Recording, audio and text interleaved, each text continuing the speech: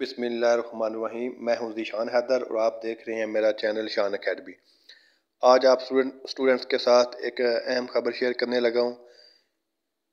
Class ninth, tenth eleventh और twelfth का syllabus तब्दील करने का फ़ैसला हो चुका है। इस सिलसिले में फेडरल बोर्ड ने एक नोटिफिकेशन भी जारी कर दिया गया है।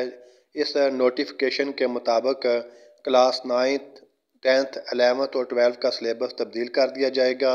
सबसे पहले क्लास नाइन्थ और क्लास अलेवन का सिलेबस जो है वो 2024 में तब्दील होगा और क्लास टेंथ और क्लास जो ट्वेल्व है इसका सिलेबस जो है वो उससे नेक्स्ट ईयर दो दो हज़ार पच्चीस में तब्दील कर दिया जाएगा।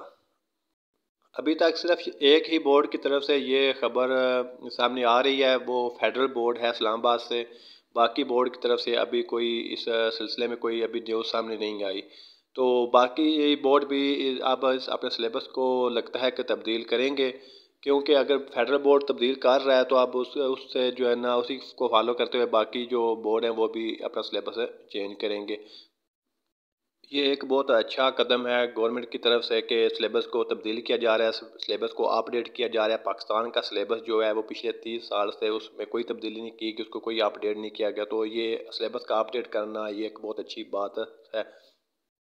इस हवाले से अगर कोई नई अपडेट आती है, कोई नई खबर आती है तो इंशाल्लाह हम आपके साथ वो भी शेयर करेंगे। उसके लिए चैनल को सब्सक्राइब कर लें ताकि आपको हमारी वीडियो जो है बर वक्त मिल सके। थैंक यू जी। अल्लाह हाफिज़।